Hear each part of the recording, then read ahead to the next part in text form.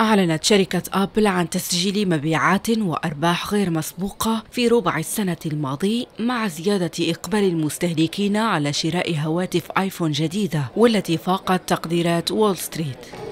وارتفعت المبيعات بنسبة 19% في الأمريكتين فيما ارتفعت ب 10% في أوروبا والصين. وبلغ إجمالي إيرادات أبل في ربع السنة الماضي 97.3 مليار دولار بزيادة قدرها 8.6% عن الفترة نفسها قبل عام. وأعلى من متوسط تقديرات المحللين البالغة 93.89 مليار دولار وفقا لبيانات ريفينيتيف.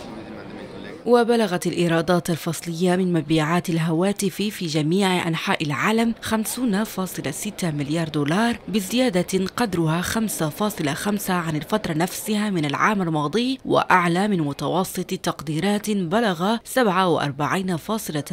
مليار دولار. فيما بلغت الأرباح 25 مليار دولار أو 1.52 دولار للسهم وتجاوزت بسهولة توقعات المحللين عند 23.2 مليار دولار و1.43 دولارا للسهم.